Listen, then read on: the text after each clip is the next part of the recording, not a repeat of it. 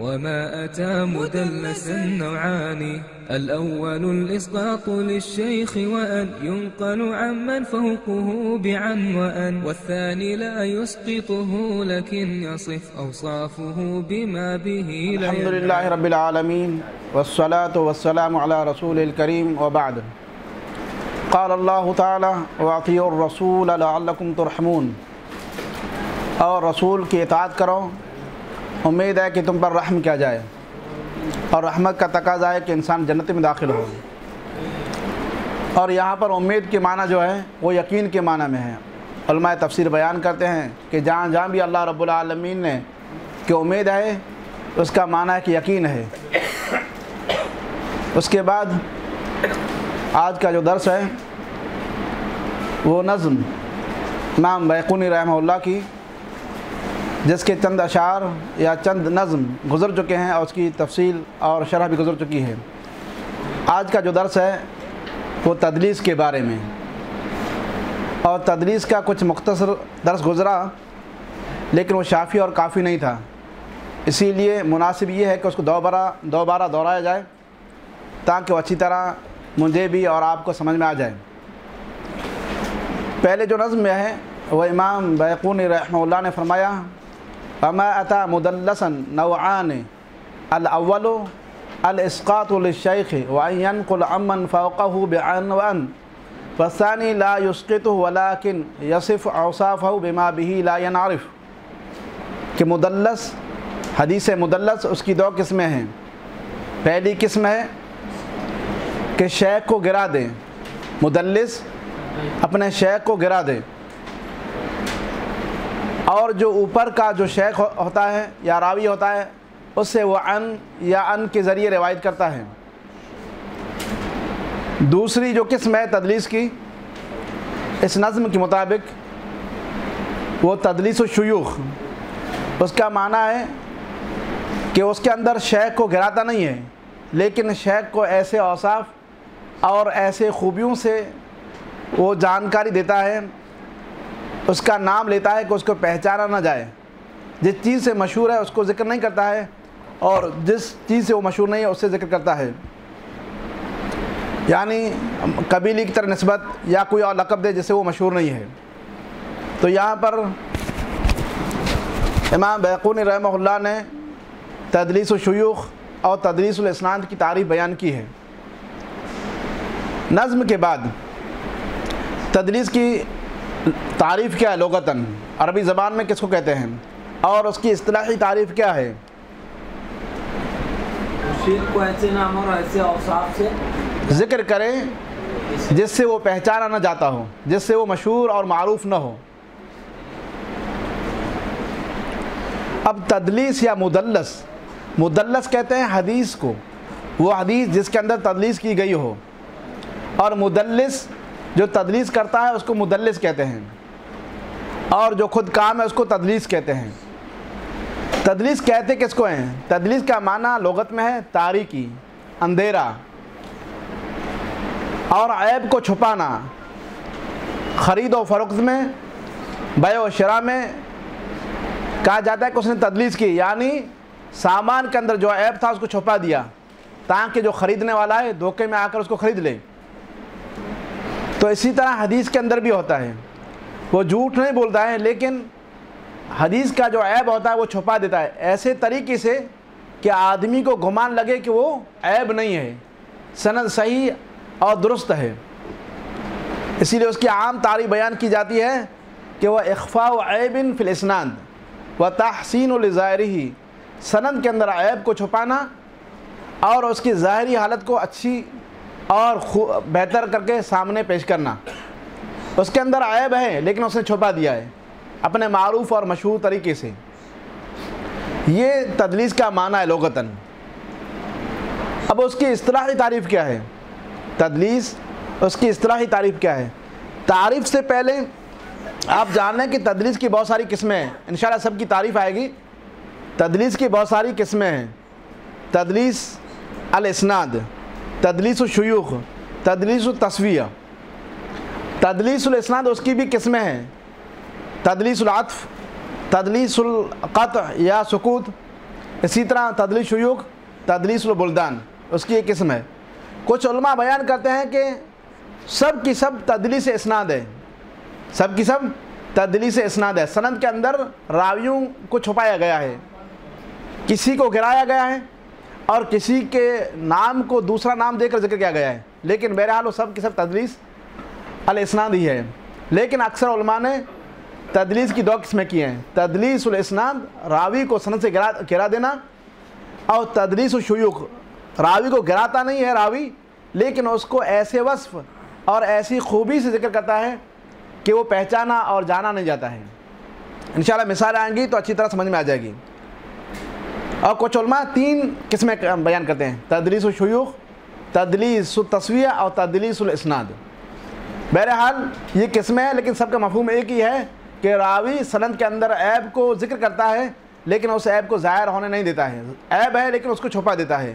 اور سامنے والے کو ایسا لگتا ہے کہ یہ سند برابر اور صحیح ہے۔ لیکن جانچنے کے بعد، تفتیش کے بعد علماء بیان کرتے ہیں کہ اس کے اندر تدلیس ہوئی ہے، اس کے اندر دھوکہ ہو گیا ہے، اس کے اندر غرر ہو گیا ہے۔ تو اس کو سامنے رکھتے ہیں۔ پھر اس غرر اور دھوکے کو علماء دور کرتے ہیں۔ اگر دور ہو جاتا ہے تو پھر صحیح ہو جاتی ہے۔ اور اگر دور نہیں ہو پاتا ہے تو وہ اسی ایپ پر وہ حدیث باقی رہتی ہے۔ تو تدریس کی تعریف اصطلاحی۔ تین تعریف ہیں۔ اس میں سے ایک زیادہ راجع ہے۔ ابن حجر رحمہ اللہ کے نزدیک ایک تعریف ہے۔ وہ یہ ہے کہ راوی دوسرے راوی سے روایت بیان کرے۔ جس سے اس کی ملاقات ثابت نہیں ہے۔ جس کو اس نے سنا نہیں ہے۔ یعنی راوی دوسرے آدمی سے حدیث کو بیان کرے۔ حالانکہ اس نے اس سے سنا نہیں ہے نہیں ملاقات ہے۔ یعنی آپ مثال کے طور پر شیخ فضل الرحمان جو مالیگاؤں میں اس سے روایت کر رہے ہیں۔ آپ نے نہ نہ اس سے ملاقات آپ کی اور نہیں آپ نے اسے سنا ہے۔ تو یہ کیا ہوئی؟ تدلیس ہوئی، ایک تعریف ہے۔ دوسری تعریف ہے کہ راوی روایت کرے اس شیخ سے، جس سے اس کا سما اور سننا ثابت ہے۔ ان چیزوں کو روایت کرے جس کو اس نے سنا نہیں ہے۔ اور اسی تعریف کے اندر، یا ہم معاصر، ہم زمانے سے روایت کریں جس سے اسے اس کا لکھا ثابت نہیں ہے، لیکن زمانہ ایک ہی ہے۔ اس سے روایت کریں تب بھی کیا ہے؟ تدلیس ہے۔ تو اس تعریف کے اندر دو تعریف ہیں۔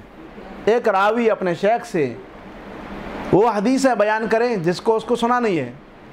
حالانکہ ان کا اس شیخ سے سننا ثابت ہے۔ اور دوسرا جملہ اسی کے اندر ہے کہ وہ راوی جس کے زمانے میں وہ موجود ہے، اس سے روایت کریں، لیکن اس سے ملاقات اور سما ثابت نہیں ہے۔ اور تیسرا جملہ اس تعریف کے اندر بھی علماء بیان کرتے ہیں کہ روایت کرے اس شیخ سے اس راوی سے جس سے اس کا لقا ثابت ہے، لیکن سما ثابت نہیں ہے۔ یہ دوسری تعریف ہے، جس کے اندر دو تین تعریفیں ایک ساتھ جمع کی گئی ہیں۔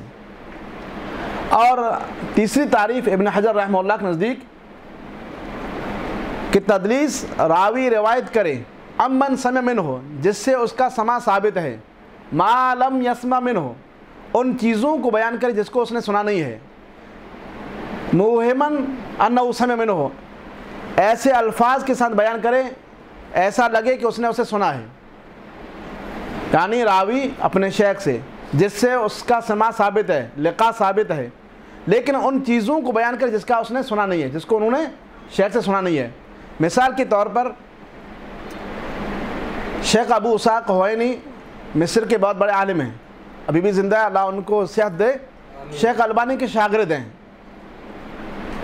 شیخ البانی سے انہوں نے کچھ احادیثیں سنی ہیں اور کچھ احادیثیں نہیں سنی ہیں۔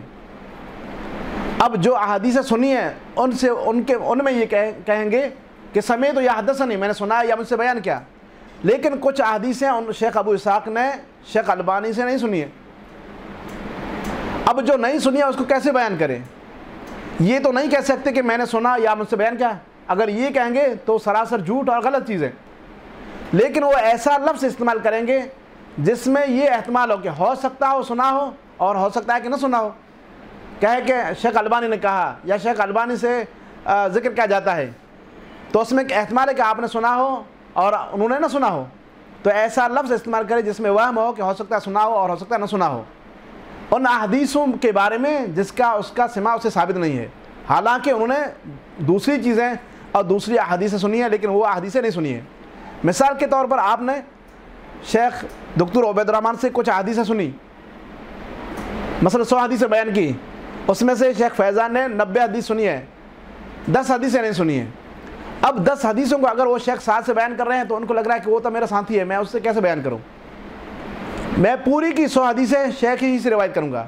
لیکن ایسا جملہ لاؤں گا جس میں کسی کو شک نہ ہو کہ میں نے یہ دس حدیثیں بھی نہیں سنی ہیں۔ تو باقی نبے حدیثیں، اس میں تو کہتا ہے حدثنا سمے تو یہ کہے گا لیکن دس حدیثیں ہیں۔ اس میں کہے گا کہ شیخ نے کہا۔ تو اب نبے حدیث کے بیچ میں یہ دس حدیث ہیں جس میں کہہ رہا ہے شیخ نے کہا۔ تو ہر کوئی یہ گمان کرے گا کہ انہوں نے یہ حدیثیں شیخ سے سنی ہیں۔ کیونکہ انہوں نے بہت ساری حدیثوں میں یہ کہا ہے کہ میں نے سنا۔ تو جب ان کا سما ثابت ہے لقا ثابت ہے، تو یہ بات بھی ان کی یہی ہے کہ انہوں نے سنا۔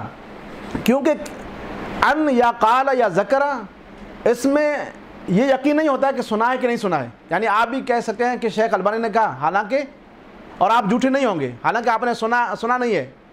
لیکن یہ کہیں گے، کیونکہ اس میں سننے اور نہ سننے کا دونوں کا احتمال پایا جاتا ہے۔ سننے اور نہ سننے دونوں کا احتمال پایا جاتا ہے۔ اسی لیے مدلس سراحتاً سریح یہ نہیں کہتا ہے کہ میں نے سنا یا مجھ سے بیان کیا گیا، بلکہ ایسا لفظ استعمال کرتا ہے جس میں انسان کو شک و شبہ ہوتا ہے کہ اس نے سنا ہے کہ نہیں سنا ہے۔ اور جب انسان کو یہ معلوم ہوتا ہے کہ اس نے بہت ساری احادیثیں سنی ہیں تو ایسی، ایسے طور پر دوسری احادیثوں کو جس کو سننے سنا نہیں ہے، اس کو بھی سننے پر معمول کرتا ہے کہ اس نے یہ بھی حدیث سنی ہوگی، تو لوگوں کو شک میں ڈال دیتا ہے۔ لیکن محدثین جانچ کرتے ہیں اور تفتیش کرتے ہیں اور کہتے ہیں کہ نہیں، یہ حادثیں انہوں نے نہیں سنی ہیں اور یہ سنی ہیں۔ اور اس کا وہ ثبوت علماء بیان کرتے ہیں۔ تو یہ تدریس کی تیسری تعریف ہے جو ابن حجر نے راجے قرار دی۔ کیونکہ جو دوسری تعریف ہے کہ آدمی روایت کرے اس شخص سے جس کے زمانے میں موجود ہو۔ حالانکہ اس کا سما ثابت نہیں ہے، لقا ثابت نہیں ہے۔ تو اس کو کہتے ہیں مرسل خفی۔ کیا کہتے ہیں؟ مرسل خفی۔ مرسل خفی یہ بھی حدیث کی قسموں میں سے ایک قسم ہے۔ اور اس کی تعریف یہ ہے کہ راوی اپنے ہم عصر سے، ہم زمانے سے روایت کرے، جس کا اسے سما اور لقا ثابت نہیں ہے۔ تو یہ گمان ہوتا ہے کہ ہو سکتا ہے انہوں نے سنا ہو۔ ایک ہی زمانے میں پائے جاتے ہیں۔ تو اس کو مرسل خفی کہتے ہیں۔ تو اس طرح تعریف سے مرسل خفی اور تدلیس میں فرق ہو جاتا ہے۔ مرسل خفی کی مثال، تدلیس کی انشاء مثال آ رہی ہے، مرسل خفی کی مثال۔ جیسے امام ترمیزی رحمہ اللہ نے کتاب و کے اندر، باب ما جا یا باب فل استطار عند الحاجہ، کہ انسان جب قضاء حاجت کرے، تب انسان اپنے آپ کی پردہ پوشی کرے۔ اس میں ایک حدیث بیان کی ہے، بیان کرتے ہیں، حدثنا قطبہ بن سعید، حدثنا عبدالسلام بن حرب، عن العامش عن انس، قال كان النبي صلى الله عليه وسلم اذا اراد الحاجه لم يرفع صوبه حتى يدنو من الارض.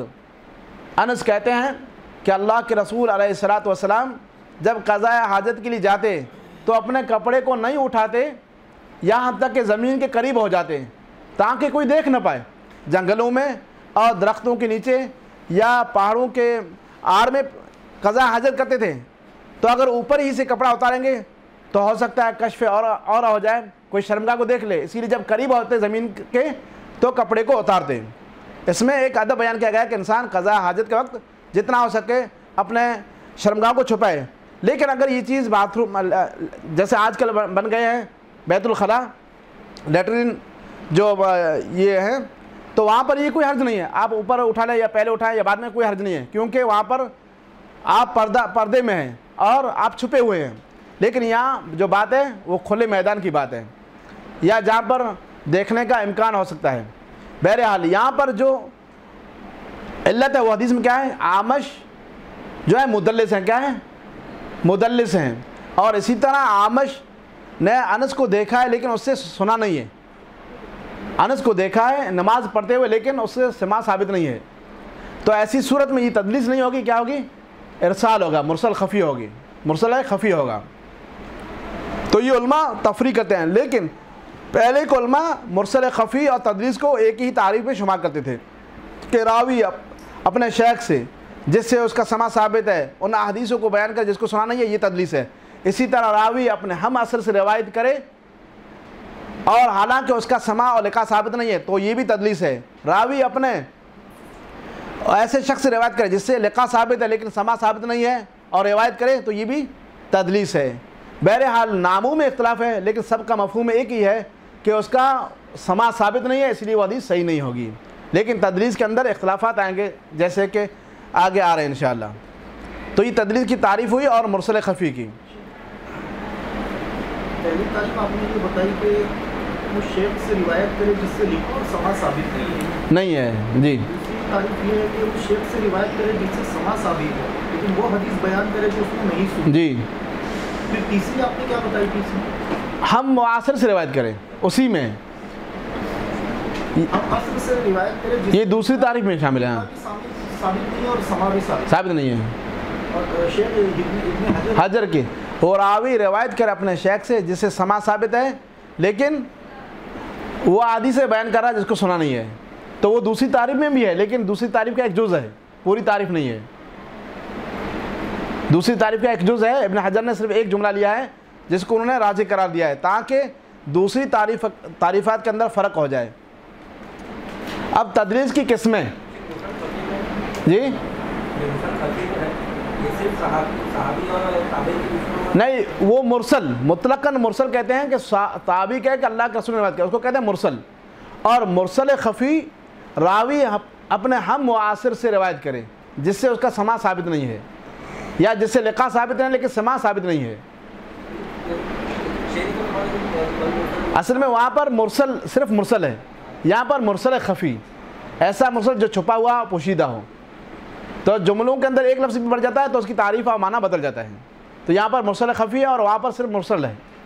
تو مرسل ایک الگ چیز ہوگی اور مرسل خفی ایک الگ چیز ہوگی۔ جو تابعین کے اندر طب تابعین کے اندر سب کے اندر پائی جاتی ہے۔ تدلیس کی قسمیں، تدلیس کی قسمیں۔ اور ہر ایک کی تعریف انشاءاللہ اس کے بعد جب مثال آئیں گی تو اچھی طرح سمجھ میں آ جائے گی انشاءاللہ چیز۔ تدلیس کی ایک قسم ہے تدلیس الاسناد، جس کی تعریف ابھی میں نے آپ کے سامنے بیان کی۔ راوی اپنے شیخ کو گرا دے اور اپنے اوپر جو شیخ شیخ کا جو شیخ ہو اس سے ان یا ان کے ذریعے روایت کرے۔ راوی اپنے شیخ کو گرا دے۔ شیخ؟ اس کا نام کیا؟ تدریس الاسناد۔ اسناد۔ تدلیس الاسناد۔ جس کی تعریف گزری کہ راوی اپنے شیخ کو گرا دیتا ہے۔ یعنی جس طالب علم سے جس تلمیذ سے اس نے حدیث سنی اس کو حذف کر دیتا ہے اور اپنے شیخ کو ذکر کرتا ہے تاکہ یہ وہم ہو کہ اس نے اپنے شیخ سے یہ حدیث سنی حالانکہ ان کا شیخ ان حدیثوں میں دوسرا ہے۔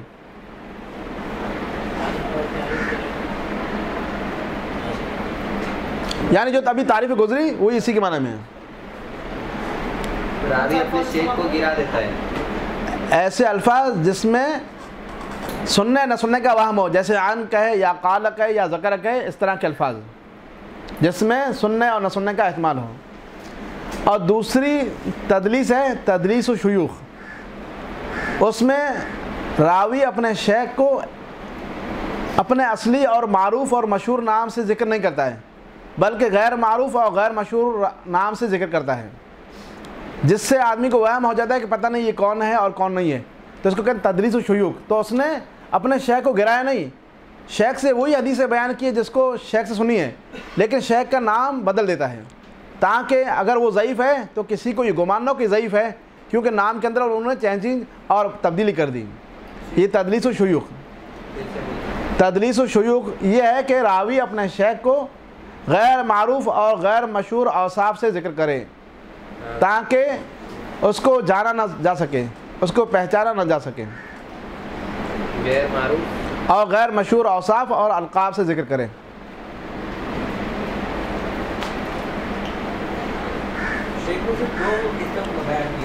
جی؟ ہاں دو ہی قسم بیان کیے۔ تدریس الاسناد اور تدریس شیوخ دو بیان کی بس۔ دوسری چیزیں وہ اس کی، اس کے تابع ہیں۔ یعنی جو دوسری تاریخ جو قسمیں ہیں، وہ اسی میں داخل ہیں۔ اسی میں داخل ہیں لیکن سمجھانے کے لیے بیان کی جا رہی ہیں۔ یہ مرسل خفی تعریفات کے اندر چیز گزری اسی لیے میں نے اس کو بیان کر لیا۔ اس میں نہیں ہے۔ لیکن ضمناً تاکہ تدلیس میں اور مرسل خفی میں فرق سمجھ میں آ جائے۔ اور تدلیس التصویہ تدلیس و تصویہ ہاں تیسری قسم۔ اس کو تیسری قسم کہیں یا تدلیس الاسناد کی قسم کہیں تبھی چلے گا۔ یعنی کچھ علماء کہتے ہیں کہ یہ الگ قسم ہے اور کچھ کہتے ہیں تدلیس الاسناد کی ایک قسم تدلیس و تصویہ ہے۔ تدلیس و تصویہ یہ ہے کہ راوی تصویہ برابر کر دینا، سوا یسوی۔ تصویہ تاسین واؤ یا تا تصویتن برابر کر دینا۔ اور اس کا معنی یہ ہے کہ راوی اپنے شیخ سے روایت کرے۔ یا دوسرے معنی میں کہ راوی دو سکھا کے درمیان ایک ضعیف راوی کو حذف کر دے۔ راوی مدلس دو سکہ راویوں کے درمیان ایک ضعیف راوی کو حذف کر دے۔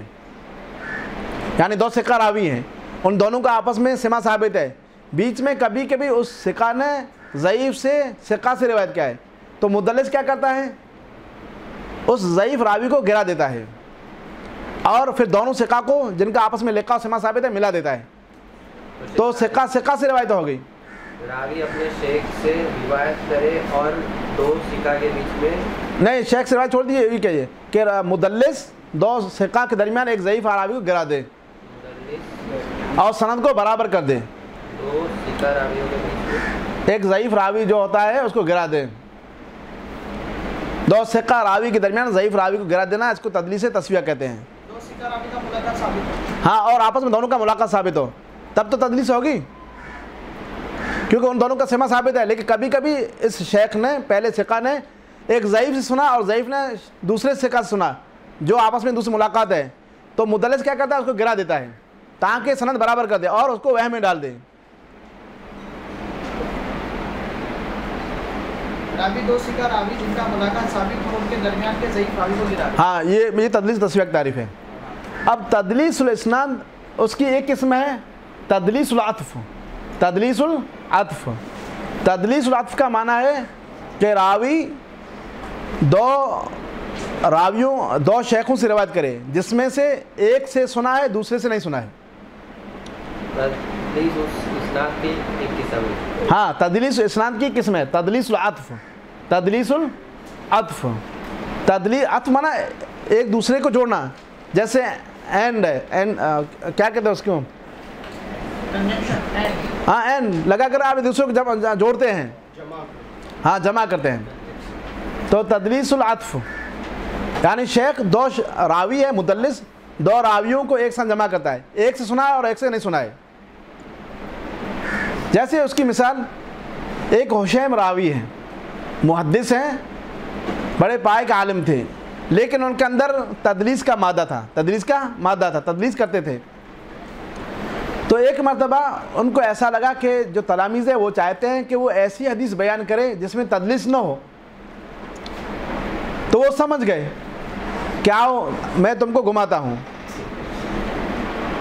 اور تلامیز بھی ہوشیار تھے، بڑے بڑے علماء وہ بھی تھے۔ تو انہوں نے کہا، حدثنی حسین و مغیرت عن ابراہیم۔ حدثنی حسین و مغیرت عن ابراہیم، مجھ سے بیا حدثنی کہا ہے۔ اس میں تدریس کا کوئی شک و شبہ نہیں ہے کہ مجھ سے حسین نے بیان کیا، مغیرہ نے۔ تو سب کو یہ سمجھ میں آئے گا کہ مغیرہ سے بھی انہوں نے سنا ہے۔ ان ابراہیم۔ بعد میں پوچھا حل دلس تو علیکم؟ کیا میں نے تمہارے اوپر تدلیس کی ہے؟ تو کہا کہ نہیں۔ کہا کہ ہاں میں نے تدلیس کی یہاں پر بھی۔ میں نے حسین سے سنا ہے لیکن مغیرہ سے نہیں سنا ہے۔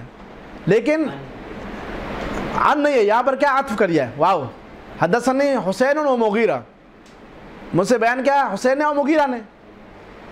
لیکن مغیرہ کو عطف کر دیا، اسی لیے یہاں پر یعنی گویا کہا، حدثنی حسین، پھر خاموش رہے اور کہا، وہ مغیرہ تو۔ یعنی مغیرہ سے سما ثابت نہیں ہے، لیکن تدلیس کر دیا۔ یہ تدلیس العطف ہوا۔ ہاں ایک سے ثابت نہ ہو اور ایک سے ثابت ہو۔ تدلیس القط یا سکوت۔ تدلیس السکوت یہ دوسری قسم ہے یہ تدلیس کی تیسری قسم ہے یا دوسری قسم؟ ہاں تدلیس القط یا تدلیس السکوت۔ کچھ الگ بیان کرتے ہیں اور کچھ ایک ہی ساتھ شمار کرتے ہیں لیکن دونوں کا مفہوم ایک ہی ہے۔ قط۔ قط میں توڑنا سکوت میں خاموش رہنا۔ یعنی راوی؟ سکوت۔ پہلے والے کا کیا؟ عطف۔ عطف ہاں۔ یعنی راوی کے حدثنا یا راوی کا سمے تو پھر خاموش رہے۔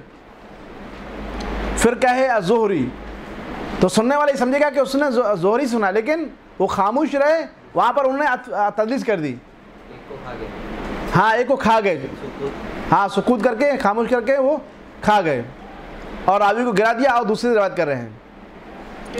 قد کا معنی آپ نے کیا بتایا؟ قط قط یکتم توڑنا۔ اور قط بھی ایسی ہے کہ راوی خاموش رہے اور بعد میں روایت دوسرے سے روایت کریں۔ جیسے علی بن خشرم کہتے ہیں کہ ہم سفیان ابن عیان کے پاس تھے۔ اور سفیان ابن عیینہ نے امام زہری سے بہت ساری روایت کی ہیں۔ تو ان کا ان سے سما ثابت ہے۔ تو ایک مرتبہ بیٹھے تھے تو کہنے لگے، الزہری ان انسن یا کوئی دوسرا نام لیے۔ تو کسی نے پوچھا حل سمیت من الزہری؟ کیا تم نے زہری سے سنا ہے؟ تو کہا کہ نہیں، میں نے زہری سے نہیں سنا ہے۔ یعنی انہوں نے کہا قال زہری اور قال میں اعتماد سننے اور نہ سننے کا اور امام سفیان ابن عیینہ نے امام زہری سے سنا ہے لیکن یہاں پر جو بیان کرے وہ نہیں سنا ہے تو پوچھنے والے نے پوچھ لیا کہ کیا آپ نے سنا ہے؟ کہا کہ میں نے نہیں سنا ہے۔ مجھ سے بیان کیا معمر نے اور معمر نے عبدالرزاق سے اور عبدالرزاق نے زوری سنا۔ بیچ میں دو واسطے گرا دیا۔ حالانکہ ان کا سما بیچ میں ثابت ہے۔ یعنی ان کو زوری سے سنا ہے انہوں نے۔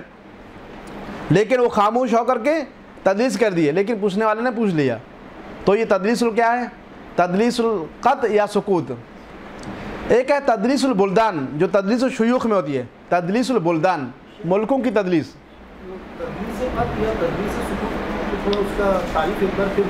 تدلیس سکوت؟ راوی خاموش رہے۔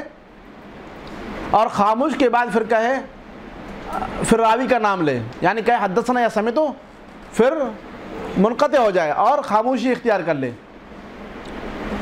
اور بعد میں کہیں کہ فلاں نے روایت کیا تو اس میں خاموشی کے اندر کسی راوی کو انہوں نے خاموش ہو کر کے گرا دیا۔ تدلیس و شیوع کی ایک قسم ہے تدلیس البلدان ملکوں کی تدلیس۔ اس کے سے دو ہی قسم ہے نا صنعت اسناد کی۔ ہاں دو ہی۔ اور ابھی کس کی یعنی قط اور سکوت کو اگر الگ کریں تو الگ ہو جائے گی۔ اب تدلیس الشیوع کی ایک قسم ہے۔ تدلیس البلدان۔ تدلیس البلدان کے معنی ہے شہروں کی تدلیس کرنا۔ یعنی مصر میں ایک ایک جگہ کا نام ہے ریاض۔ ایک جگہ کا نام کیا ہے؟ ریاض ہے۔ اور سعودیہ میں ایک کیا ہے؟ ریاض ہے، راجدھانی۔ تو اگر مصر میں کوئی بیٹھ کے کہے، مجھ سے فلاں شیخ نے روایت کیا ریاض کے اندر تو سننے والا جو میری طرح نہیں جانتا ہو کیا سمجھے گا کہ ریاض، میں خود سمجھ کہ ریاض جانا ہے۔ وہ ایک آدمی کہہ رہا تھا کہ ریاض جانا ہے۔ میں کہ ریاض جاؤ گے؟ یعنی وہ ریاض وہاں وہی مصر میں دوسری جگہ تھا گاؤں کا نام تھا۔ تو ایسے بیان کرتے کہ مجھ سے اس نے بیان کیا فلاں جگہ پر۔ حالانکہ وہ فلاں وہی جگہ اسی ملک میں موجود ہے۔ لیکن وہ نام لیتا ہے ذہن میں ہوتا ہے دوسری جگہ۔ جیسے آپ کہیں مجھ سے بیان کا گجرات میں۔ گجرات کہاں ہے؟ ایک پاکستان میں بھی ہے اور ایک کیا ہے؟ انڈیا میں۔ بھی ہے۔ ادھر بھی ہے۔ ہاں پاکستان۔ تو اس طرح سے تدریس بلدان۔ ایک جگہ کا نام لے کر مراد دوسری جگہ ہوتی ہے۔ تاکہ یہ وہم ہو کہ انہوں نے فلاں والا جگہ پر بھی انہوں نے سفر کیا ہے۔ تونس بھی جگہ کچھ گاؤں کے نام رہتے ہیں، امریکہ بھی کچھ جگہوں کے نام رہتے ہیں، کچھ گاؤں میں۔ تو آدمی سمجھتا ہے کہ وہ امریکہ گیا۔ حالانکہ وہ ایک گاؤں کا نام ہے اس گاؤں میں۔ تو اس کو تدریس البلدان کہتے ہیں کہ راوی ایسی جگہ کا نام لے جو غیر مشہور ہو اور وہ مشہور چیز کا نام ہو۔ تو آدمی کو یہ لگے کہ وہاں اس نے وہاں کا سفر کیا، حالانکہ وہ چھوٹی جگہ ہے جو اس جگہ کا نام پڑ گئے پڑ گئی ہے۔ تو اس کو تدریس البلدان کہتے ہیں جو تدریس الشیوع کی ایک قسم ہے۔ بلدان کے بلدان۔ بلدان۔ اب مثالیں پیش کر لیں اس کے بعد انشاءاللہ تدلیس کی اور چیزیں بہت ساری چیزیں باقی ہیں۔ یعنی تدلیس جیسے بخاری مسلم میں کچھ حدیثیں تدلیس والی ہیں تو ان کا کیا حکم ہے؟ راوی خود مدلس ہے اس کا کیا حکم ہے؟ کبھی کبھی انانا مقبول ہوتا ہے کہ نہیں مقبول ہوتا ہے؟ مقبول ہوتا ہے، کبھی ہوتا ہے، کبھی نہیں ہوتا ہے۔ اسی طرح یہ آدمی جو راوی مدلس ہے، تدلیس کیوں کرتا ہے؟ کس وجہ سے کرتا ہے؟ یعنی کیا اسباب ہے وہ ایسی کیوں تدلیس کرتا ہے؟ اور اسی طرح اس تدلیس کو کس طرح سے پہچانا جائے گا؟ ہم کیسے جانیں گے کہ اس میں تدلیس ہے؟ تو انشاءاللہ مثالوں کے ذریعے تدلیس سمجھ میں آ جائے گی، بعد میں انشاءاللہ ان چیزوں کا ذکر ہوگا۔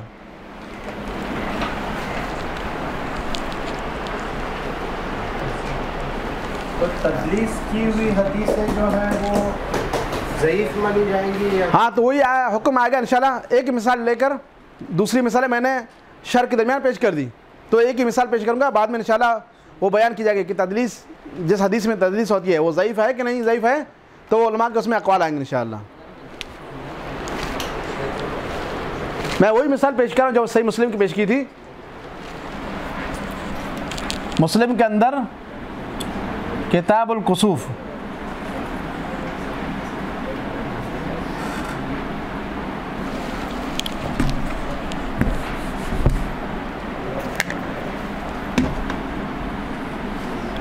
کتاب القصوف کے اندر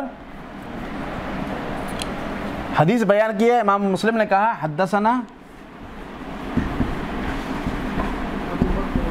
ابو بکر ابن ابی شیبت شیبت دسنا اسماعیل اسماعیل بن علیہ۔ اور علیہ ان کی ماں کا نام ہے، ان کا باپ کا نام تھا ابراہیم۔ اور اسماعیل اپنے ماں کی نسبت کو ناپسند کرتے تھے، لیکن اس طرح سے وہ مشہور ہو گئے تھے، اسی لیے علماء بیان کرتے ہیں۔ اس لیے امام بخاری کہتے ہیں، یقال لہو ابن علیہ، کہا جاتا ہے۔ یعنی دوسروں کی طرح نسبت کرتے تھے۔ ان سفیان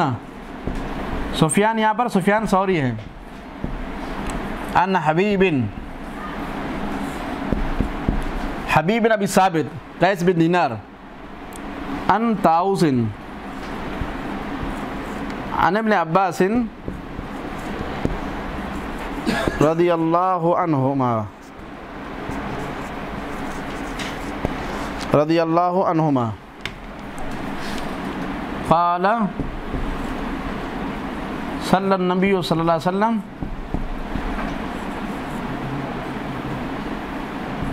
صلى الله عليه وسلم حين كسفت الشمس ثمان ركعات في أربع سجدات.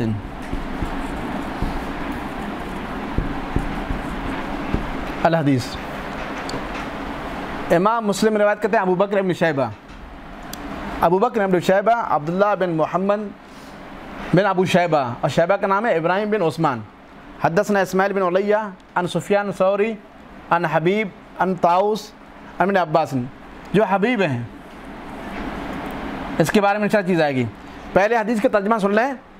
عبداللہ بن عباس کہتے ہیں کہ اللہ کے رسول نے جب سورج گرہن ہوا تو آٹھ رکوع کیے چار سجدوں میں یعنی دو رک ہر رکعت میں دو سجدے ہوتے ہیں۔ تو چار سجدے دو رکعت میں ہوں گے۔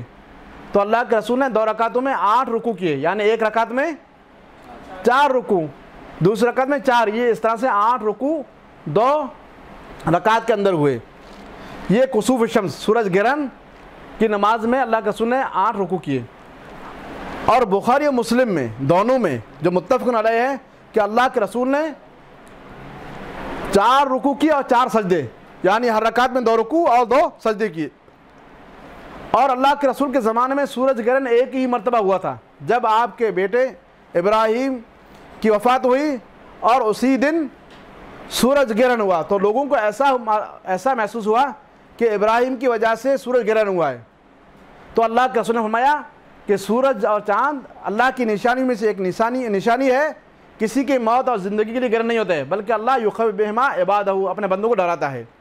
تو جب زندگی میں ایک ہی مرتبہ سورج گرہن ہوا ہے، اور آپ نے اس کا مطلب ایک ہی مرتبہ نماز پڑھائی ہے، تو بخاری و مسلم دونوں کی جو متفق علیہ روایت ہے، اس میں آپ نے دو رکوع کیے اور دو سجدہ یعنی دو رکعت میں چار سجدے اور چار رکوع کیے۔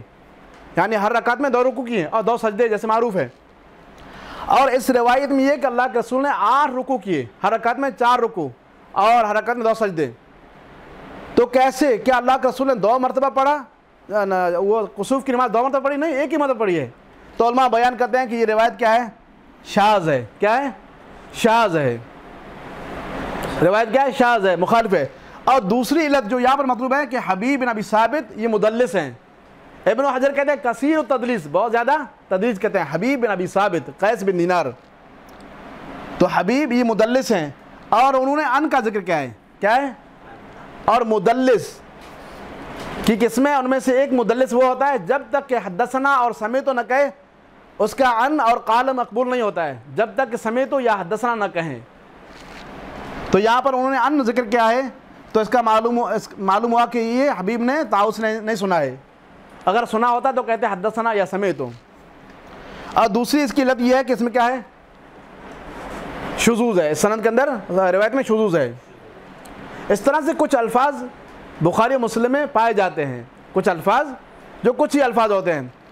اس کا مطلب یہ ہوتا ہے کہ امام بخاری یا مسلم نے اس کی طرف اشارہ کیا ہے۔ اشارہ کیا ہے؟ پہلے یہ سند ہے جو صحیح اور ثابت ہے، اس کو بیان کیا ہے۔ بعد میں ان احادیثوں کو ذکر کیا ہے تاکہ یہ معلوم ہو کہ یہ چیز صحیح نہیں ہے۔ جیسے کہ بخاری میں ایک روایت ہے، انشاءاللہ حدیث شاذ میں آئے گی۔ میمونہ کہتی ہیں کہ اللہ کے رسول نے مجھ سے شادی کی اس حال میں کہ اللہ کے رسول حلال تھے، احرام کی حالت نہیں تھے۔ اور عبداللہ بن عباس کہتے ہیں کہ اللہ کے رسول احرام کی حالت میں تھے۔ حالانکہ دونوں بخاری میں، دونوں سندیں صحیح ہیں۔ لیکن علماء بیان کرتے ہیں کہ عبداللہ بن عباس سے اس حدیث میں وہم ہو گیا۔ صحیح ہے کہ اللہ کے رسول نے حلال کی حالت میں، احرام کی حالت میں نہیں، بلکہ آپ حلال تھے تبھی آپ نے شادی کی ہے، میمونہ سے۔ تو اس طرح سے کچھ الفاظ ہوتے ہیں علماء کے اس میں جوابات ہوتے ہیں۔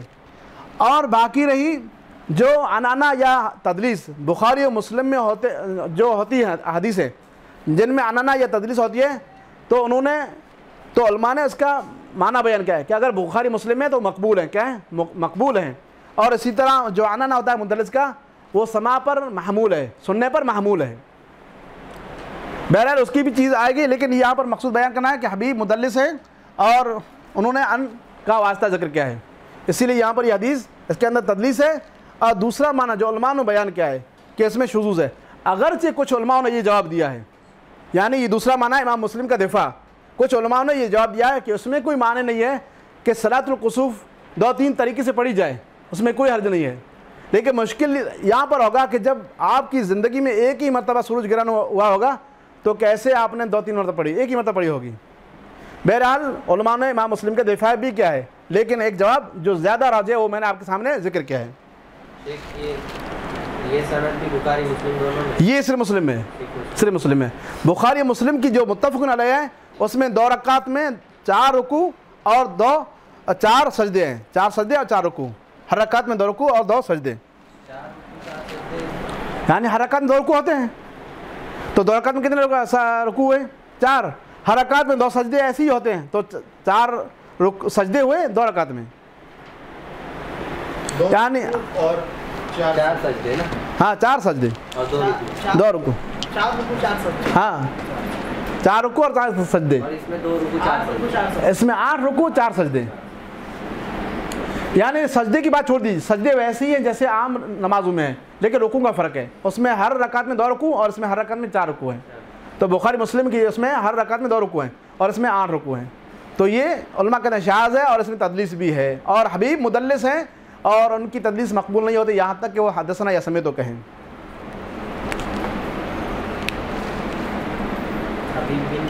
حبیب بن ابی ثابت، حبیب بن ابی ثابت۔ ابو ثابت کا نام ہے قیس بن دینار۔ حبیب بن ابو ثابت۔ حبیب بن ابی ثابت تو ابو ثابت کون ہے قیس بن دینار قیس بن دینار ہاں حبیب بن ابی ثابت اب جو مدلسین ہیں ادھر دھیان دیجیے جو مدلسین ہیں تدریس کرتے ہیں ان کے مرتبے ہیں درجے ہیں ہر مدلس ایک ہی درجہ کا نہیں ہے کوئی ایسے مدلس ہوتے ہیں جن کی تدریس مقبول ہے کوئی ہے اس کی مقبول نہیں ہے کوئی ہے کبھی اس کی مقبول ہوتی ہے کبھی مقبول نہیں ہوتی ہے تو ایک درجہ ہے کہ وہ مدلس جن کی تدریس بہت ہی نادر ہے، نہ کے برابر ہے۔ یعنی کبھی ان سے تدریس وہی نہیں ہے، اگر وہی ہے تو نہ کے برابر۔ جیسے یحییٰ بن سعید الانصاری، تو ان کی تدلیس مقبول ہے، گویا کہ نہ کے برابر ہے۔ جس راوی سے تدلیس نادر ثابت ہو، اس کی تدلیس مقبول ہے۔ جن میں سے ایک یحییٰ بن سعید الانصاری ہے، ایک قسم۔ دوسری قسم جو سقہ راوی سے تدلیس کرتے ہیں یعنی سقہ راوی ہی کو حذف کرتے ہیں۔ تو ایسی صورت میں ان کی تدلیس مقبول ہوگی، کیونکہ سقہ کوئی بھی ہوگا وہ مقبول ہوگا۔ جیسے سفیان ابن عیینہ ہیں، تو ابن عیینہ تدلیس سقہ ہی راوی سے کرتے ہیں۔ نہیں، مدلسین کے مرتبے۔ ابھی حکم اس کے بعد آئے گا۔ یہ چیز سمجھ میں آ جائے گی؟ تو حدیث مدلس کا کیا حکم ہے اور راوی مدلس کا کیا حکم ہے؟ تو وہ چیز آسانی سمجھ میں آ جائے گی انشاءاللہ۔ پہلے آپ نے کیا بتایا تھا؟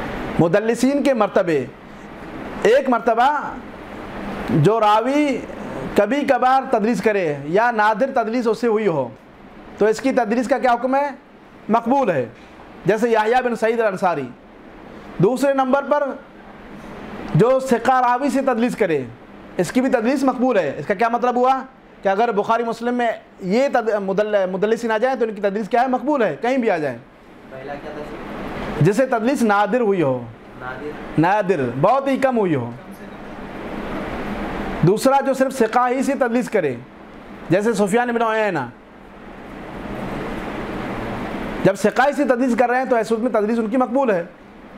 اور تیسرے نمبر پر، جو سقا راویوں سے اور ضعیف راویوں سے تدلیس کرے۔ تیسرے نمبر کا دھیان رکھیے، جو سقا راویوں سے اور ضعیف راویوں سے تدلیس کرے۔ تو ان کی تدلیس مقبول نہیں ہے۔ یہاں تک کہ سمے تو یا حدثنا کہے۔ جو تیسرے درجے کے مدلسین ہیں، ان کی تدلیس مقبول نہیں ہے۔ یہاں تک کہ وہ حدثنا یا سمے تو کہیں۔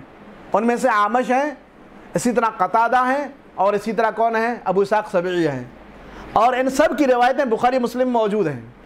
تیسرے نمبر پر وہ مدلسین، جو مدلسین سقا راویوں سے اور ضعیف راویوں سے تدلیس بیان کرتے ہیں۔ ہیں؟ ابو اسحاق سبعی یہ مشہور راوی ہیں۔ نہیں نہیں تیسری کا نہیں لکھیں ہاں تیسری تیسری ہاں۔ آمش آمش سفیان بن عینہ اور قطادہ بن دیامہ صدوسی نہیں سفیان بن اس میں نہیں ہے پہلے میں دوسرے میں ہے۔ آمش اور قطادہ ابو اسحاق سبعی نہیں سفیان سور نہیں۔ کیا کر رہے ہیں؟ پہلے میں یایا بن سعید الانصاری۔ وہ بھی تدریس کرتے ہیں۔ ہاں سفیان سوری بھی کے لکھتے ہیں۔ سفیان سوری اس میں سفیان بن عینہ ہے لیکن علماء نے سفیان سوری کا بھی تدریس مقبول کیا ہے۔ جہاں تک میرا ذہن میں ہے۔ سیکنڈ میں سفیان بن عینہ صرف میں نے دیکھا ہے بس۔ آمش اور نہیں آپ سفیان سوری کی بات کر رہے ہیں ان کو بھی مدلس کہا گیا ہے۔ لیکن مقبول ان کے ہے کہ نہیں، اس میں شک ہے۔ ہاں وہ تو ہیں۔ بخاری میں سب کے، اب بخاری مسلم کا جواب آئے گا انشاءاللہ۔ آمش، قطادہ اور ابو اسحاق سبعی اور حبیب بن ابی ثابت جیسے یہ ہیں۔ تو یہ تیسرے درجے کے وہ راوی ہیں جو سقا راویوں سے اور ضعیف راویوں سے تدلیس بیان کرتے ہیں، تدلیس کرتے ہیں۔ تو علماء کہتے ہیں کہ ان کی تدلیس مقبول نہیں ہوگی۔ یعنی ان کہیں یا قال کہیں مقبول نہیں ہوگا۔ یہاں تک کہ سراحتاً کہیں کہ میں نے سنا ہے یا اس نے ہم سے بیان کیا۔ جب تک تصریح نہیں ہوگی سراحت نہیں ہوگی سننے کی، تب تک ان کی تدریس مقبول نہیں ہوگی۔ تیسرے درجے کی۔ اور چوتھے درجے کی جو صرف ضعیف راویوں سے تدریس کرتے ہیں یا ضعیف راویوں گرا دیتے ہیں، جیسے بقیہ بقیت بن ولید اور ولید بن مسلم ہیں۔ تو ان کی روایت کا بھی یہی حکم ہے کہ ان کی روایتوں کو جانچا جائے گا پرکھا جائے گا یہاں تک کہ وہ سمیت یا حدثنا کہیں اپنے شیخ سے اور شیخ بھی اپنے شیخ سے حدثنا سمیت کہیں۔ کیونکہ تدلیس جو بقیہ اور ولید مسل کرتے ہیں تدلیس و تصویہ اپنے شیخ کو نہیں شیخ کے شیخ کو گرا دیتے ہیں۔ جو ضعیف راویوں سے تدلیس کرے۔ اور اس کی تو ان کی تدریس مقبول نہیں ہوگی۔ یہاں تک کہ وہ اپنے شیخ سے تصریح کریں اور شیخ کے شیخ سے تصریح کریں۔ سے روایت کریں۔ اور تدریس کریں۔ تو ان کے قبول ہونے کی شرط یہ ہے کہ وہ خود اپنے شیخ سے سما کی سراحت کریں اور شیخ کی اپنے شیخ سے سماعت کی سراحت کریں۔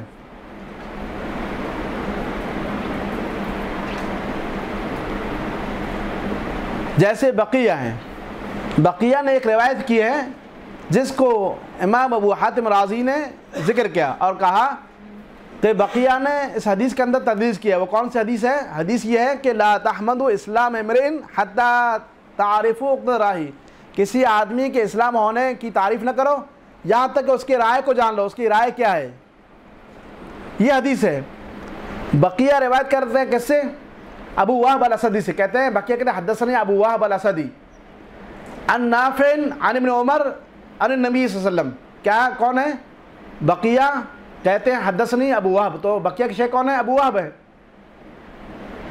پھر ابو واہب روایت کرتے ہیں نافع سے نافع روایت کر رہے ہیں کرتے ہیں عبداللہ بن عمر سے اور وہ اللہ کے رسول سے اب ظاہر میں ہے کہ سب کے سب ثقات ہیں ابو وہب ثقہ راوی ہے لیکن انہوں نے ان کا نام بدل دیا۔ ابو وہب اصل میں عبید اللہ بن عمر۔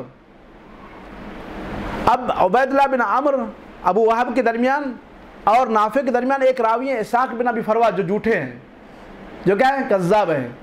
تو بقیہ نے اس کو گرا دیا۔ کس کے درمیان؟ عبید اللہ ابو وہب اور نافع کے درمیان۔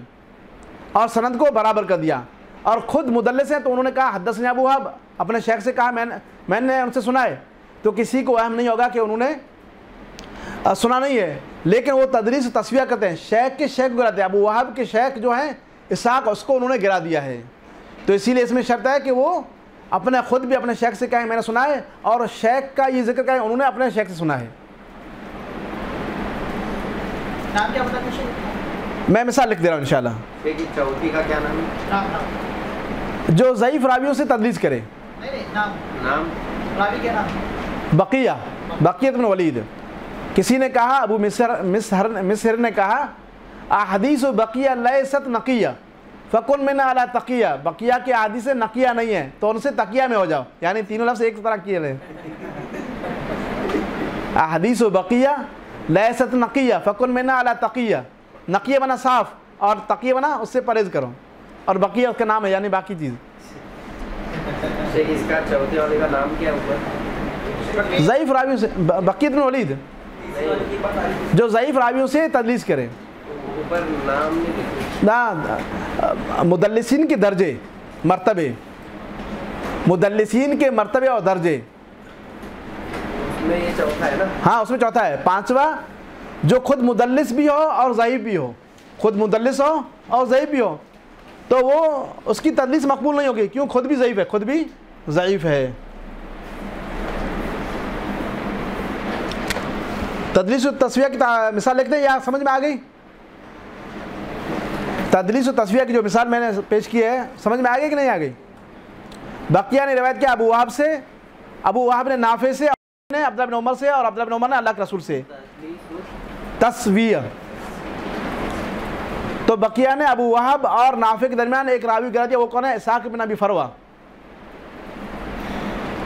اور پھر عبید اللہ بن عمر، اس کی کنیت اس نے ذکر کیا ابو وہاب اور نسبت کی قبیلی طرف الاسدی تاکہ لوگ سمجھ نہ پائیں کہ یہاں پر کوئی راوی گرا ہے۔ تو یہ مرتبے ہیں۔ اب حدیث اب مثال سمجھ میں آ گئی ہوگی انشاءاللہ۔ اب حدیث مدلس کا کیا حکم ہے؟ جس حدیث کے اندر تدلیس ہو اس کا کیا حکم ہے؟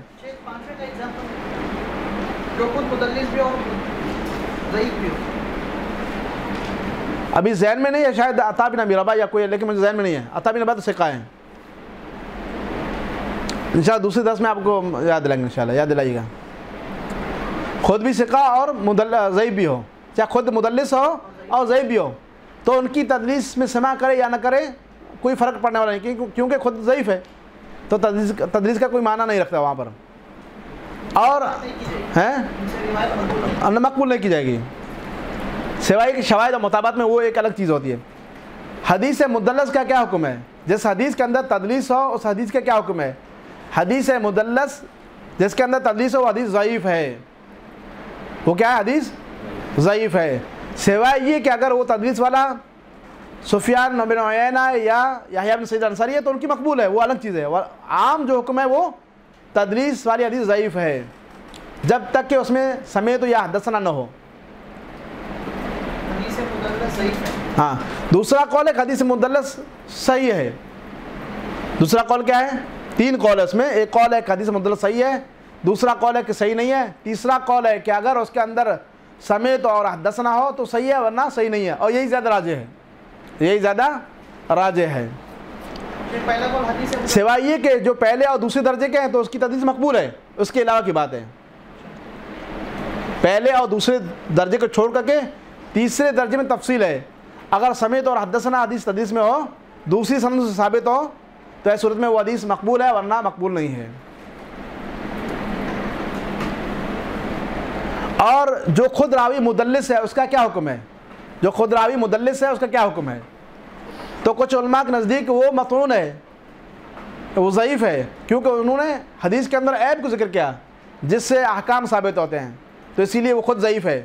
تو آمش ہیں، سفیان ہیں، سب کے سب کا ضعیف ہو جائے گا لیکن علماء نے بیان کرتے ہیں کہ نہیں۔ ایک قول ہے کہ تدلیس کرنے والا خود ضعیف ہے، وہ مجروح ہو جائے گا، اس کی روایت مقبول نہیں ہوگی۔ لیکن یہ قول صحیح نہیں ہے، کیونکہ تدلیس میں راوی جھوٹ نہیں کہتا ہے، بلکہ ایک لفظ سے استعمال کرتا ہے، احتمال والا۔ ہو سکتا ہے سناؤ اور ہو سکتا ہے نہ سناؤ۔ تو اس پر اس کو مجروح کر دینا، عیب دار کر دینا، یہ صحیح نہیں ہے۔ دوسرا قول ہے کہ وہ مقبول ہے۔ دوسرا قول ہے کہ وہ حجت ہے۔ ہاں، مدلس خود حجت ہے۔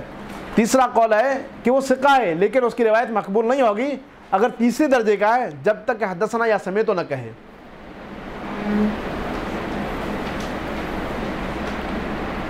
اب بخاری مسلم کے اندر جو روایتیں ہیں بخاری مسلم میں جو تدریس والی روایتیں ہیں جیسے آپ کے سامنے یہ حدیث ہے اسی طرح اور بھی روایتیں ہیں۔ مدلس راوی کا ایک حکم یہ ہے کہ وہ مجروح ہے۔ عیب دار ہے اس کی روایت مقبول نہیں ہوگی یہ پہلا قول ہے لیکن یہ قول صحیح نہیں ہے۔ دوسرا قول ہے کہ مدلس راوی مقبول ہے مطلقاً کہیں بھی روایت کرے مقبول ہے۔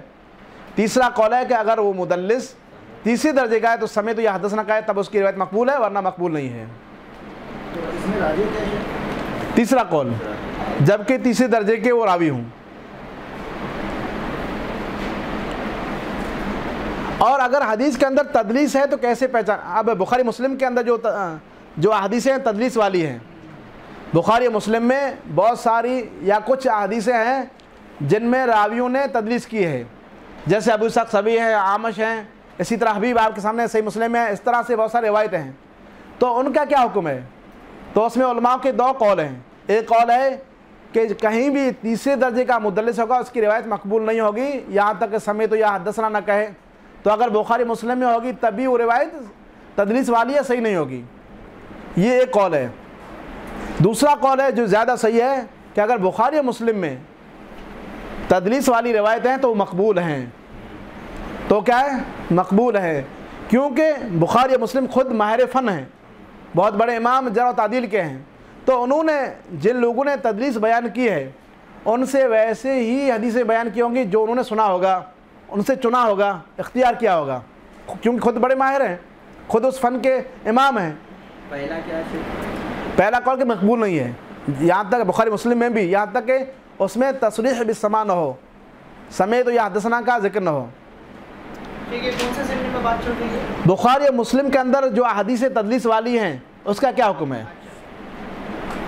الحدیث المدلسہ فی الصحیحین۔ ہے بخاری مسلم کے اندر جو تدلیس والی احادیث ہے اس کا کیا حکم ہے؟ تو ایک قول ہے کہ وہ مقبول نہیں ہے۔ یہاں تک کہ سمیت تو یا حدث نہ ہو۔ دوسرا قول ہے کہ مقبول ہیں کیونکہ بخاری مسلم خود بڑے بڑے امام ہیں۔ انہوں نے مدلسین سے وہی روایت کی ہوں گی جو جس میں تدلیس نہیں ہوگی۔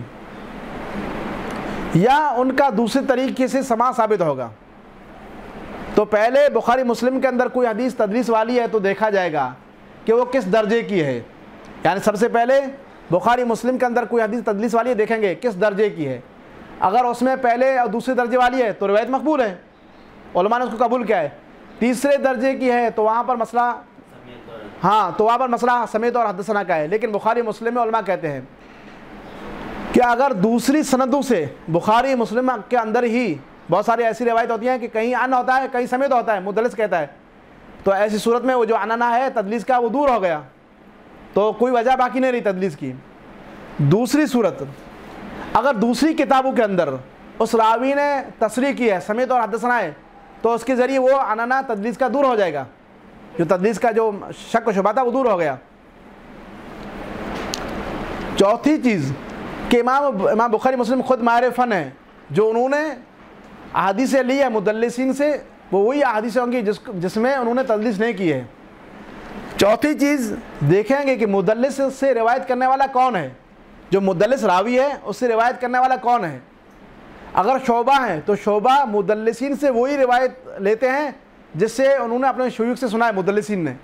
جیسے شعبہ کہتے ہیں کہ تین ایسے راوی ہیں جو مدلس ہیں، لیکن میں نے ان کی تدریس کو ایک دم دبا دیا ہے، ان کو تدریس کرنے نہیں دیا ہے یعنی جس کو انہوں نے سنا ہے۔ قطادہ ہیں اور آمش ہیں اور ابو اسحاق سبھی ہیں۔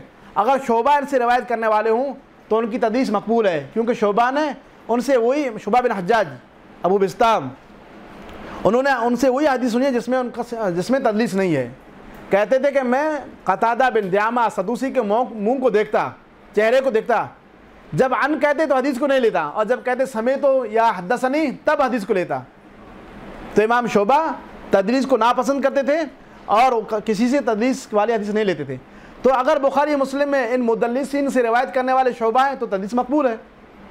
اسی طرح ابو زبیر، مسلم کے اندر ایک راوی ہیں، ابو زبیر، جو جابر سے روایت کرتے ہیں، جنہوں نے تقریباً حج کی بڑی لمبی روایت بیان کی ہے۔ ابو زبیر، ان کا نام ہے محمد بن بن مسلم بن تدرس، محمد بن مسلم تدرس۔ وہ مدلس ہیں۔ لیکن علماء کہتے ہیں کہ اگر ان سے روایت کون کرے؟ لیس لیس بن سعد مصری روایت کریں تو ان کی تدلیس کیا ہے؟ مقبول ہے۔ وہاں پر انہوں نے وہی آدھی سنی ہے جس کو انہوں نے زبیر نے سنی ہے، ابو زبیر نے سنی ہے۔ اسی طرح ابن الجریج اگر عطا سے روایت کریں تو مقبول ہے۔ حالانکہ مدلس ہے، لیکن اگر عطا سے روایت کریں تو سب کی سب مقبول ہیں۔ تو اسی طرح کچھ قواعد ہیں۔ اگر وہ پائے جائیں بخاری مسلم کے اندر تو وہ تدریس گویا کہ تدریس ہی نہیں ہے۔ تو تدریس صرف دیکھنا کہ تدریس ہے، لیکن اس کے اور جو اشارے اور جو ضوابط ہیں وہ دیکھیں گے۔ تو بخاری مسلم میں تدریس والی حدیثیں نہ کے برابر ہوں گی۔ اور اگر ہوں گی تو اس کا جواب جیسے کہ آپ کے سامنے گزرا ہے وہ جواب ہے۔ تو یہ بخاری مسلم کے اندر جو تدریس ہوتی ہے اس کے بارے میں۔ جی؟ ایک قول مقبول نہیں ہے لیکن وہ قول صحیح نہیں ہے زیادہ۔ دوسرا قول مقبول ہے اور پھر اس میں بھی کچھ چیزیں ہیں۔ اگر وہ ہوں گی تو تدلیس نہیں ہوگی۔ یا وہ مقبول ہے بخاری مسلم پر اعتماد کرتے ہوئے اور اسی طرح امت نے ان کی حادثوں کو قبول کیا ہے۔ ان کے ان حادثوں کو صحیح طور پر قبول کیا ہے۔ اب تدریس خود یہ مضموم شے ہے۔ امام شعبہ نے کہا، تدریس و اخ القذب تدریس جھوٹ کا بھائی ہے۔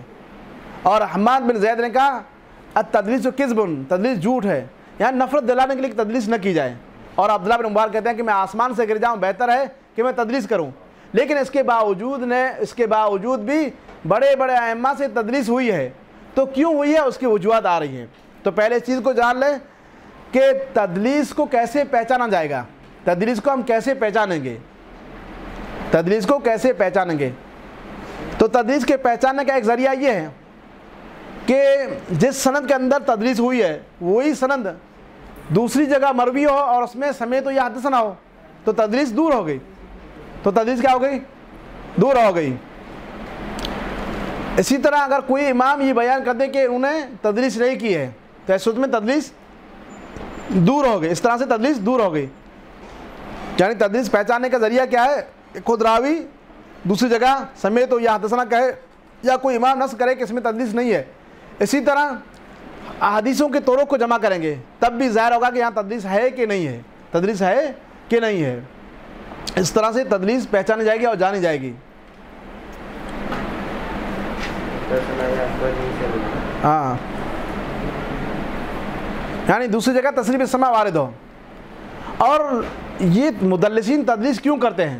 مدلسین تدریس کیوں کرتے ہیں؟ تو علماء اس کی وجوہات بیان کرتے ہیں۔ علماء اس کی وجوہات بیان کرتے ہیں۔ ایک سبب یہ ہے کہ ہو سکتا ہے جو شیخ ہے جن سے انہوں نے روایت کیا، وہ ضعیف ہے کیا ہے وہ؟ ضعیف ہے تو اس کو چھپانے کے لیے وہ تدلیس کرتے ہیں۔ اس کو چھپانے کے لیے تدلیس کرتے ہیں۔ تدلیس شیوخ میں وہ نام چینج کرتا ہے تبدیل کرتا ہے۔ تاکہ پہچانا نہ جائے اور اسی طرح تدریس اسناد میں راوی گرا دے تاکہ پہچانا نہ جائے۔ تو ضعیف ہونے کی بنا پر یا تکبر کی تکبر نہیں یعنی اپنے آپ کو اس لائق نہیں سمجھتے کہ اس سے شاگرد سے اپنے مسئلے سے روایت کرے یعنی آپ نے اور میں نے شیخ البانی سنا ہے۔ میں نے بھی سنا، آپ نے بھی سنا ہے۔ اب اگر میں آپ سے روایت کر رہا ہوں شیخ سعد سے، تو وہ بھی طالب علم، میں بھی طالب علم ہوں۔ تو کوئی میرا درجہ بلند نہیں ہوا۔ تو میں شیخ سعد سے روایت نہیں کر رہا ہوں، ڈائریکٹ کس سے؟ شیخ البانی سے۔ تو کمی کو محسوس کی وجہ سے وہ تدلیس کرتا ہے۔ یعنی تکبر کے معنی کیا ہے، لیکن ہم محدث میں یہ چیز نہیں کہتے۔ ہیں بہت ایسی چیز ہوتی ہے کہ بہت کم ہوتی ہے۔ ایسا بھی ہوتا ہے۔ اور کبھی علو الاسناد، سند کو آگے بڑھانے کے لیے، عالی سند بیان کرنے کے لیے۔ یہاں اگر بیچ میں راوی گرا دیں گے تو سند عالی ہو جائے گی۔ اس کے لیے بھی۔ اور اسی طرح کبھی کبھی کیا ہوتا ہے؟ الاستغراب۔ یعنی ایسی سند کو لائیں جو دوسروں کے پاس نہ ہو۔ تو تدریس کرتے تو اس طرح سند ہو جاتی ہے۔ راوی سند میں وہ تھا، وہ گرا دیا۔ تو ایک سند نئی اور الگ سند ہو گئی تو استغراب کے لیے بھی۔ اور کبھی کبھی کیا ہوتا ہے کہ تدریس کے اندر آپس میں دشمنی ہوتی ہے، کچھ نہ کچھ۔ تو وہاں پر بھی تدریس کر دیتا ہے، وہاں پر بھی تدریس ہو جاتی ہے۔ جیسے لوگ بیان کرتے ہیں، حالانکہ دشمنی تھی معمولی۔ امام بخاری رحمہ اللہ، محمد بن یا زہلی سے روایت کرتے ہیں بخاری کے اندر۔ روایت کی ہے، لیکن کبھی بھی پورا نام نہیں لیا۔ کبھی حدثنا محمد کہتے ہیں صرف، یا کبھی دادا کی طرف تقریباً محمد عبداللہ کہتے ہیں۔ پورا نام ذکر نہیں کرتے ہیں۔ کیونکہ امام بخاری کے خلاف محمد بن یحییٰ زہلی نے ایک خلاف سازش کی تھی۔ ایک انسان ہونے کی بنا پر۔ وہ بھی بہت بڑے امام تھے اور بہت بڑا کام کیا حدیث کا۔ امام بخاری کے شیخ تھے۔ لیکن جب دیکھا کہ لوگ سب بخاری کے پیچھے جا رہے ہیں ان کو چھوڑ دیا۔ تو کہا کہ امام بخاری قرآن کو کہتے ہیں، قرآن مخلوق ہے۔ تو یہ حالانکہ تومت صحیح نہیں تھی۔ اور امام بخاری کہتے ہیں کہ انسان کا پڑھنا وہ مخلوق ہے۔ انسان جو پڑھتا ہے، آواز ہے وہ مخلوق ہے۔ لیکن جو جو جو چیز پڑھی جا رہی ہے وہ مخلوق نہیں ہے۔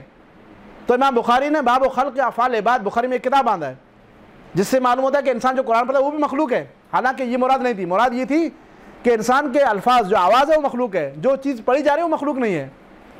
تو لوگوں کو یہ شک میں ڈال دیا کہ مخلوق کہتے ہیں قرآن کو۔ تو اس وجہ سے میں آپس میں دشمنی ہوئی۔ بہرحال امام بخاری نے پھر بھی ان سے روایت کی بخاری کے اندر، لیکن ان کا نام نہیں ذکر کیا۔ تو ایک طرح کی یہ کیا ہے؟ تدلیس و شیوخ ہے۔ کیا تدلیس و شیوخ ہے؟ اور کبھی کیا ہوتا ہے کہ شیخ پر کسی چیز کا ڈر ہوتا ہے، تو ذکر نہیں کرتے اس کا نام۔ تقریباً حسن بصری علی سے روایت کرتے ہیں، تو علی کا نام نہیں لیتے ہیں۔ کیونکہ بنو امیہ کے دور میں اگر علی کا نام لینا تھوڑا دشوار تھا، تو اس کے نام کو چھپا دیتے تھے۔ یعنی یہ علماء بیان کرتے ہیں۔ تاکہ اس کا نام نہ لیں، ایسے ہی دوسرے کا نام لیتے یا دوسرے قسم سے نام لیتے، تاکہ اس کو جان نہ پائیں۔ کیونکہ پھر دشمنی ہو جائے کہ تم کیسے علی کا ذکر کرتے ہو۔ بہرحال یہ سیاسی چیزیں تھیں، وہ ایک الگ چیز ہے تو اس طرح سے کچھ وجوہات تھیں جس کی بنا پر مدلسین تدلیس کرتے تھے۔ اور ایک وجہ ہے کہ کبھی کبھی تفن فی العبارہ تفن فی العبارہ یعنی ایک ہی راوی سے اس نے ہزاروں حدیثیں بیان کی ہیں۔ تو بار بار اگر اسی کا نام لیں گے تو ایک اختار ہو جاتی ہے ملل ہو جاتا ہے۔ تو کبھی اس کا وصف ذکر کرتے ہیں، کبھی کنیت ذکر کرتے ہیں، کبھی پورا نام ذکر کرتے ہیں، کبھی یہ ذکر کرتے ہیں۔ تاکہ اختہٹ محسوس نہ ہو، سننے والے کو اور کہنے والے کو۔ یعنی ایک شخص سے ہزاروں حدیث سنی ہے بار بار وہی نام تھوڑا سا بھاری گزرتا ہے۔ تو الگ الگ ناموں سے ذکر کرتے ہیں تاکہ سننے والے کو اور کہنے والے کو کوئی دشواری پیش نہ ہو۔ تو یہ تدریس کے اغراض ہیں۔ یعنی کیوں تدریس کرتے تھے؟ تو یہ تدریس کے بارے میں چند چیزیں تھیں جو گزری ہیں۔ پہچاننے کے طریقے ایک کوئی امام نہ امام بیان کرے امام یعنی کوئی محدث بیان کرے کہ اس میں تدلیس نہیں ہے، یا اس میں تدلیس ہوئی ہے، یا کہیں بیچ میں کوئی راوی آ جائے۔ تیسرا طریقہ تجلیس پہچاننے کا طریقہ یہ ہے کہ بیچ میں کوئی کیا ہے، راوی آ جائے۔ یعنی جس محدث نے، جس مدلس نے تدلیس کی ہے، دوسری جگہ پر مدلس اور اس کے شیخ کے درمیان، جس میں ان کا ہے، وہاں پر دوسرا راوی آ گیا۔ تو یہاں پر بھی ایسا شک لگ رہا ہے کہ انہوں نے اسی راوی گرا دیا، یا کسی اور کو۔ تو پہچان کے بہت سارے طور یہی دو تین ذہن میں ہیں۔ یعنی بیچ میں ہاں؟ ہاں وہی پہچان پائیں گے۔ یعنی ہم لوگ صرف وہ چیزیں نقل کر پڑھ رہے ہیں۔ لیکن جب آپ تحقیق میں جائیں گے تو یہ چیز آسانی سمجھ میں آ جائے گی۔ یعنی یہ اتنی بڑی چیزیں علماء نے بیان کی ہے ہم تو صرف وہ چیز لکھی ہوئی ہے اس کو بیان کریں۔ لیکن علماء نے اس کو عملی طور پر کام کیا ہے۔ پہچانا کہ کون ہے کون نہیں ہے فلاں فلاں کیا کہتا ہے کیا نہیں کہتا ہے۔ ساری چیزیں کیسے پہچانی ہوگی؟ جیسے امام احمد سے پوچھا گیا کہ عبد الرحمن النخی کیا انہوں نے سیدہ عائشہ سنا ہے؟ تاکہ نہیں سنا ہے کیسے؟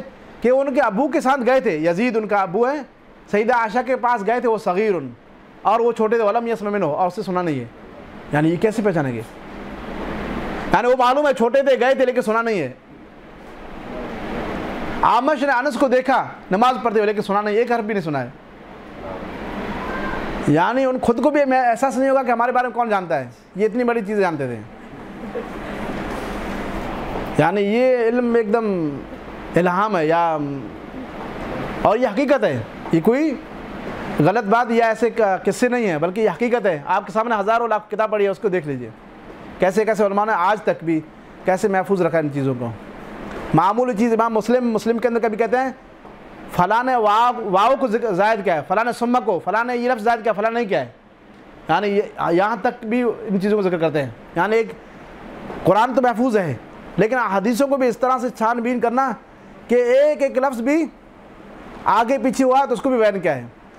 عبداللہ بن عمر رضی اللہ تعالیٰ عنہ نے حدیث بونے علیہ السلام مشہور حدیث ہے۔ بونے علیہ السلام علیہ خمس، شہادت اللہ علیہ ورنہ محمد صلی اللہ وقام صلاح ویتا زکا والحج و سوم رمضان۔ تقریباً عبداللہ بن عمر سے کہا گیا کہ وہ سوم رمضان والحج اس طرح سے ہے تو انہوں نے کہا نہیں، میں جیسے میں نے سنا ویسے ہی بیان کروں گا۔ یعنی حالانکہ آگے پیچھے کوئی حرج نہیں ہے، لیکن پھر بھی کہا کہ میں نے اسی طرح اللہ کے رسول سنا ہے۔ یعنی اس طرح سے ایک چیز پر دھیان صحابہ کرام سے لے کر محدثین تک ایک ایک لفظ پر وہ دھیان رکھتے تھے اور راتوں میں جاگ جاگ کر ان حدیثوں کو دہراتے تھے، لکھنے کو ناپسند کرتے تھے، لکھنے کو عیب سمجھتے تھے۔ پوری چیزیں زبانی پوری چیز زبانی، در زبانی۔ لکھنے کو عیب سمجھا جاتا تھا۔ اگر کوئی لکھتا مجبوری طور پر تو اس کو پھر مٹا دیتا تھا۔ یاد کر کے۔ ورنہ صرف سینے در سینے۔ سینے سے چیز آ رہی سینے میں جا رہی ہے۔ بہت عیب سمجھتے تھے۔ اور بہت بڑے حفظ اور مہارت والے تھے۔ یہی آپ کے سامنے علل دار قطنی ہے۔ علل دار قطنی ان کے شیخ جو شاگرد ہیں برقانی رحمہ اللہ کہتے ہیں۔ آپ سن کر حیران ہو جائیں دس یا بارہ جلدوں میں ہے اور اس کے دو صفوں کو ہم لوگ مل کر اگر ایک ہفتہ، دو ہفتہ، تین ہفتے میں یاد کر نہیں یاد ہو پائے گا۔ یعنی دو صفحے، راویوں کے فلاں نے اس سے روایت کیا، فلاں نے اس سے روایت کیا، فلاں اس کا حدیث کا ٹکڑا ایک ہی ہوگا۔ لیکن صرف نام نام، دو صفحے یا تین صفحے، اس کو آپ یاد ہی نہیں کر پائیں گے۔ اور وہ کہتے ہیں، برکانی عملہ علیہ من حفظ ہی کہ یہ ساری کتاب انہوں نے اپنے حفظ سے مجھے لکھوائی ہے۔ بارہ جلدیں ہیں، یہاں پر پڑھی ہو گئی، حدیث کی جو قسم ہے اس میں۔ عملہ علیہ من حفظی کیسے وہ لکھا ہوگا اور یہ تو متاخر ہیں۔ امام دار قطنی متاخر ہیں۔ امام بخاری مسلم سے پیچھے میں۔ لیکن اس کے باوجود بھی اتنا بڑا حفظ۔ تو پہلے والوں کیسا ہوگا؟ تو یہ اللہ رب العالمین نے جو وعدہ کیا انا نحن نزل ذکر انا نحن نزلنا ذکر و انا لو حافظون۔ ہم نے ذکر کو نازل کیا ہے قرآن حدیث کو؟ اور ہم ہی اس کی حفاظت کرنے والے ہیں۔ تو اللہ نے قرآن حدیث دونوں کی حفاظت کی ہے۔ دونوں کی حفاظت کی ہے۔ کہیں بھی شک و شبہ باقی نہیں رہی ہے۔ کسی نے عبداللہ بن مبارک یا کسی سے کہا کہ یہ حدیث فلاں نے گڑی ہے؟ اس کا کیا حال ہوگا؟ کیا کہ یہی شلح جابز ہے کہ اس کے لیے بڑے بڑے ائمہ اور اساتین موجود ہیں؟ جس طرح آٹے سے بال کو نکال لیتے ہیں، اس طرح ضعیف اور موضوع حدیثوں کو صحیح حدیثوں چھان بین کر لیتے ہیں۔ اور آج ہی آپ کیا زمانے میں شیخ البانی تھے، تو کس طرح انہوں نے حدیث چھان بین کی؟ یہ تو صرف انہوں نے کتابوں سے لے کر آپ کے سامنے ذکر کیا ہے۔ ان لوگوں نے صرف زبانی اور لوگوں کو پہچان کر کے یہ فلاں فلاں صحیح ہے، فلاں نہیں صحیح ہے۔ مباشر ہے۔ اسی لیے امام شیخ البانی کہتے تھے علم و فی صدور ہمارا جو علم ہے وہ سطور کے اندر ہے، قلم کے اندر ہے۔ وہ علم الاوائل فی صدور اور پہلوں کا علم وہ صدور کے اندر تھا، سینوں میں تھا۔ تو یہ بہت بڑا معجزہ ہے جو اللہ رب العالمین نے اس امت کو دیا ہے۔ اللہ رب العالمین دعا کہ اللہ رب العالمین ہمیں قرآن و حدیث کو سیکھنے اور سکھانے توفیق دے اور اللہ کے رسول علیہ السلام وسلم کی حدیثوں کو سیکھنے، سکھانے اور اس پر عمل کرنے توفیق دے اور صحیح حدیثوں کو اور ضعیف حدیث پہچانے کی توفیق دے۔ آمین۔ سمامین السلام علیکم ورحمۃ اللہ وبرکاتہ۔